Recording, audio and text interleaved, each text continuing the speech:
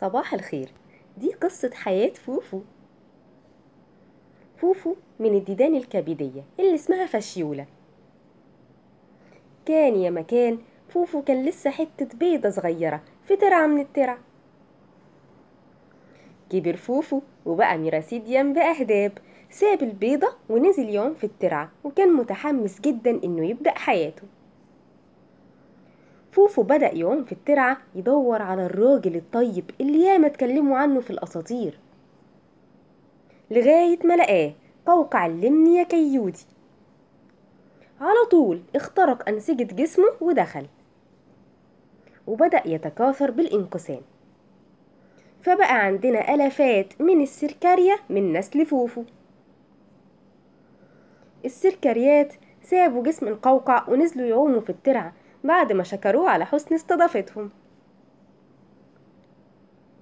السركريات راحوا على الخضروات المورقة زي الجرجير والخس لزقوا عليها وتحوصلوا وبقى اسمهم سركريات متحوصلة encysted metacercaria ده بقى رامي. في يوم من الأيام رامي أخد الخضار اللي لازق عليه فوفو. رامي شاب نشيط وطموح عنده عربية فول وفلافل. مشكلته الوحيدة ما بيغسلش الخضار اللي بيحطه في السندوتشات.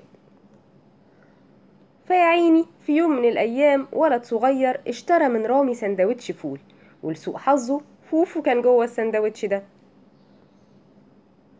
فوفو دخل المعدة ومنها على الاثنى عشر اللي فيها فتحة القناة المرارية ولأن فوفو Fasciola غبية قرر ما يدخلش الفتحة القريبة دي. وقرر إن هو يخرم الاثنى عشر والغشاء البريتوني علشان يوصل للقنوات المرارية عن طريق الكبد من بره. بالفعل فوفو اخترق كل أنسجة الكبد علشان يوصل للقنوات المرارية القريبة من الاثنى عشر لأنها واسعة تكفيه لما يكبر. فوفو كبر وبقى فشيولة كبيرة وناضجة. بدأ يحط البيض. بيض فوفو كان بيوصل للأمعاء عن طريق القناة المرارية دي ومنها لبره الجسم مع الفضلات. علشان يوصلوا لمية الترعة ويكملوا دورة حياتهم تاني من أول وجديد. ودي كانت قصة فوفو. أتمنى تكونوا استمتعتم معانا بيها. إلى اللقاء في قصة جديدة. Thank you for listening.